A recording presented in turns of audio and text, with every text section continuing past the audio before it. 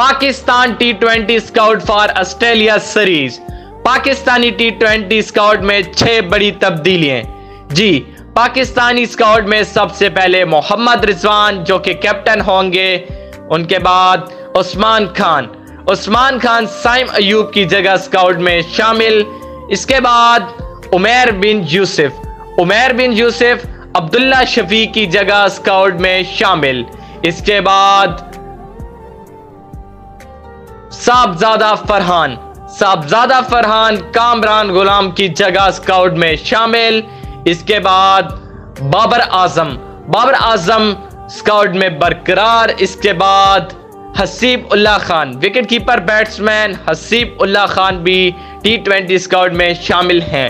इसके बाद सलमान अली आगा। सलमान अली आगा भी टी ट्वेंटी स्काउट और ओडीआई दोनों में थे। सलमान अली आगा पाकिस्तान के वाइस कैप्टन हैं। इसके बाद इरफान खान न्याजी। इरफान खान न्याजी भी स्काउट में बरकरार।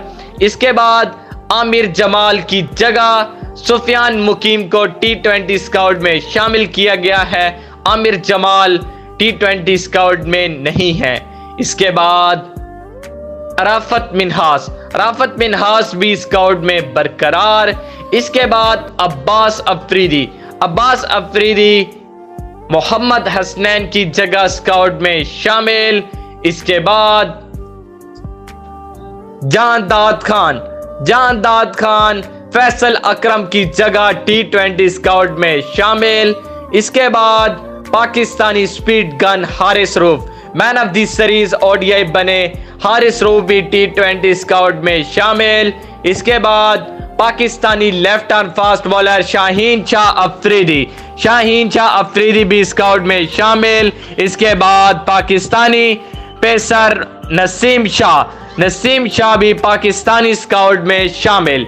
ये था पाकिस्तान का पंद्रह रुकनी T twenty squad Pakistan versus Australia, पहला टी ट्वेंटी मैच चौदह नवंबर को होना है।